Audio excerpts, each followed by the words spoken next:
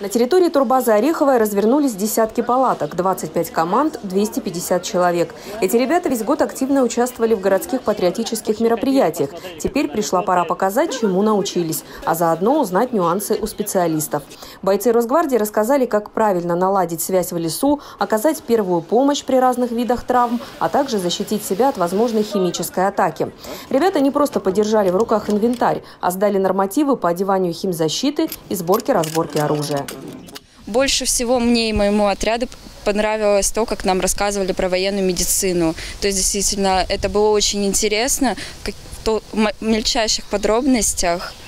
И то есть мы смогли практи э, практиковаться. Подготовку ребят специалисты оценили. Бойцы Росгвардии – частые гости и в детсадах, и в школах.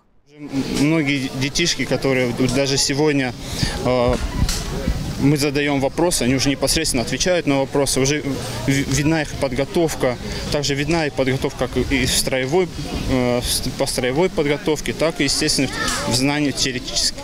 Патриотическая смена в палаточном лагере проходит уже второй год и, судя по обоюдному интересу, станет регулярной. В целом, за лето лагерь намерен принять тысячи юных сочинцев. Разнообразные программы рассчитаны на четыре дня.